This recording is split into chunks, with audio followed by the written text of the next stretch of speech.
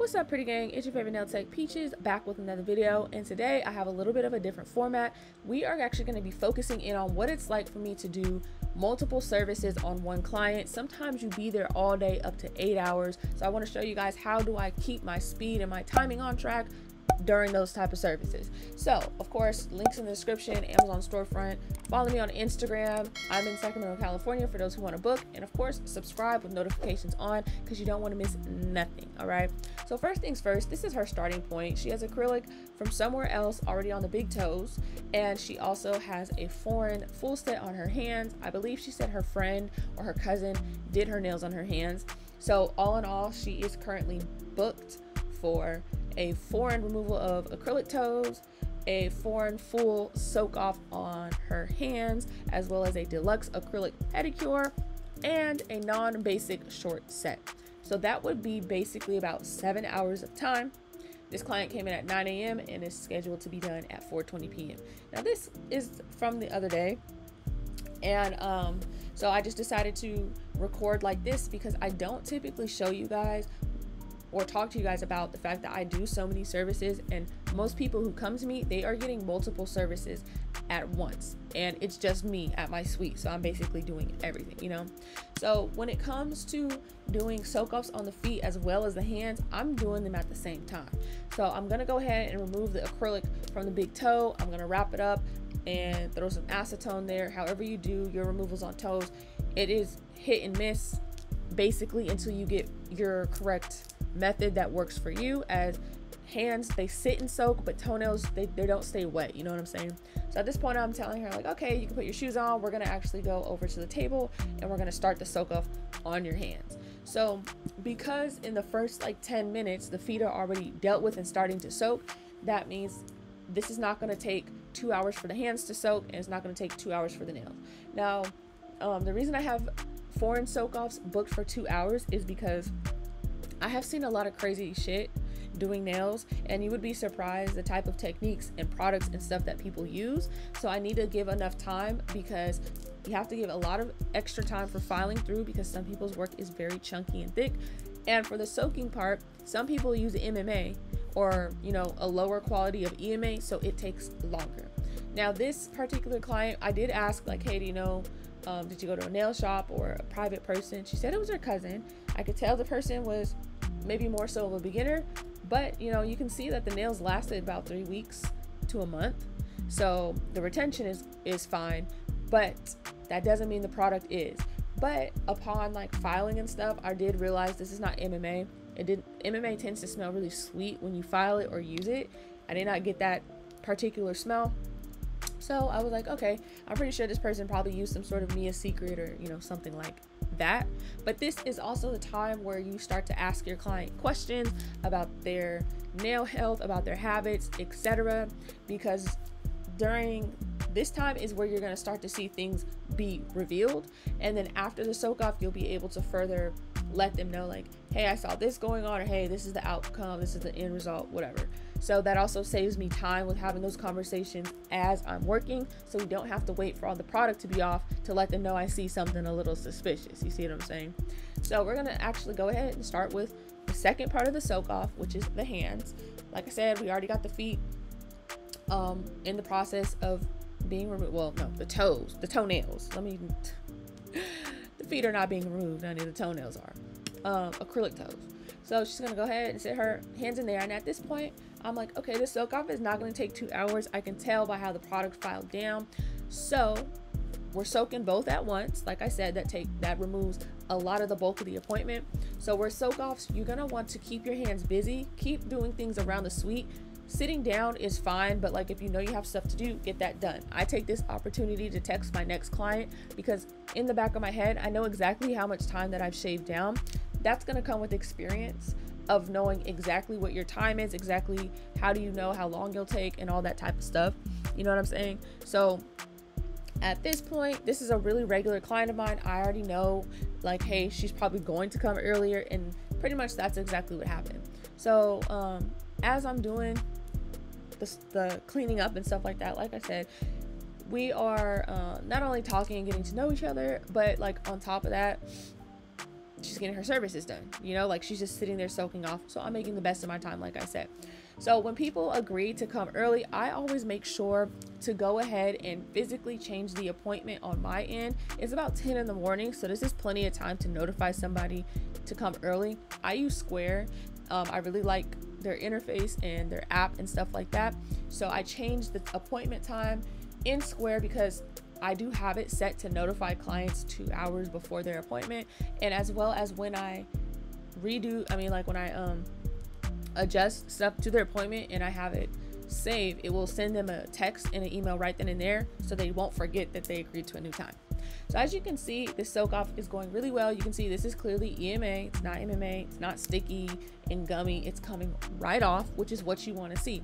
So because of that, right, the hands are fully soaked off and because the toenails are i don't know where she went she might have went to the shop but because the acrylic toes i know are probably um, the quality may not be as good i personally am just to go ahead and let those big toes finish soaking throughout this process of me doing the nails. Excuse me. Sometimes i'll go ahead and remove the toenails at the same time but to be honest you want to limit how much you're moving around while you're doing this because every time you tell your client, oh, over here, over there, over here, over there, it actually adds more time to the appointment. So for me, now that the hands are soaked off, I'm just gonna keep it moving and we'll worry about the toenails after. So this client ended up getting a um, short pink French tip set with a nude background. I'm pretty sure I use nude panther or soft peach as a background color from Not Polish. And I'm just incorporating this part to actually show you guys like all the rest of the steps are the same. Now, if you are able to condense your appointment, let's say you do both soak ups at the same time, but you're actually um, a little bit slower when it comes to the nails, you may not be able to condense your appointments yet, you know?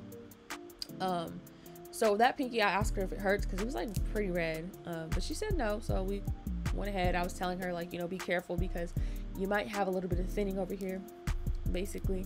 Uh, but yeah, like I was saying, the key to doing multiple services on people is you just have to have the mental capacity to keep going and keep pushing through. Because sometimes it's not easy spending like five to six hours with just that one person. Like let's say if someone annoys you or things aren't going how you thought you can get frustrated. In the beginning i used to get a little frustrated. But once you're like very confident in your work and you've taken so much clients and like it just becomes a lot easier. But also, remember, I did work in a nail shop for, well, I worked in a couple of different types of shops when I first started doing nails. So multitasking wasn't like too hard for me, if that makes sense. Like, it really taught me how to do that.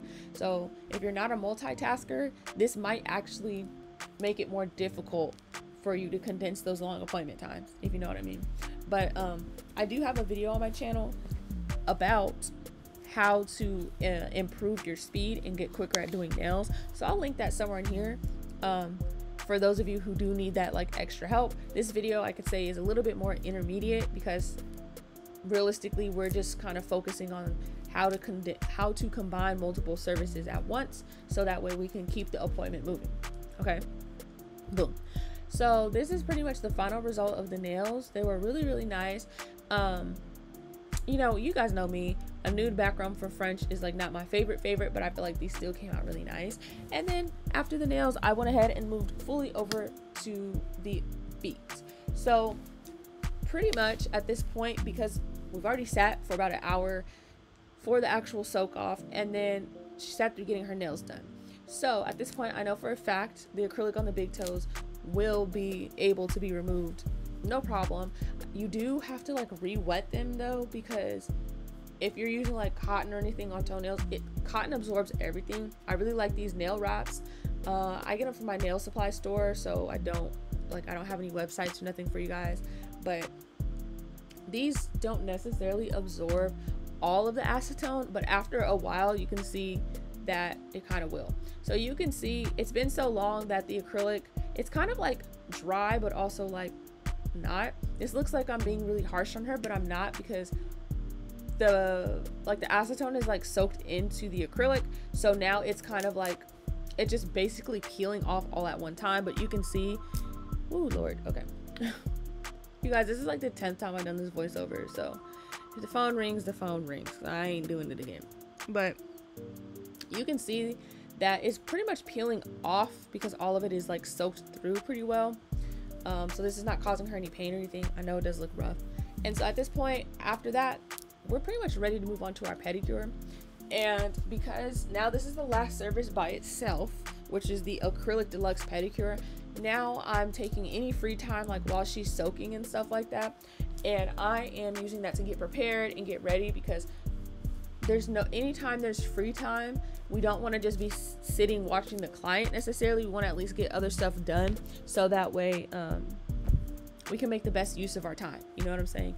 So at this point she's soaking so this is where i'm opening everything up. I'm getting ready to do other things. Um, I'm gonna start resetting my space soon. And if you don't know what to reset your desk and stuff, it basically means you're cleaning up everything so that way you're ready for the next client. Because I told the next client, hey, come at two o'clock, that means now with the feet, I'm at the point where, okay, we might have to hustle a little bit if other things took a little bit longer, you know, because things can ha- things can come up while you're actually doing nails.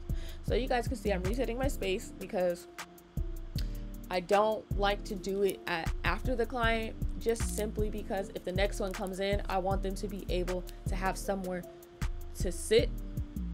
Okay, we do have a lobby area, but like if it's real like literally their appointment time i want them to be able to come in and be able to sit so basically what this is all about is a simple fact of any free time you have during long appointments you want to make sure that it's going towards something you know?